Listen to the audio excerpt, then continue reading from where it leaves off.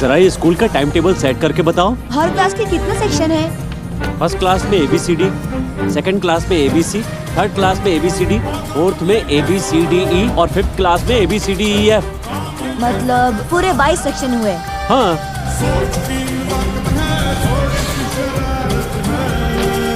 ये लीजिए सर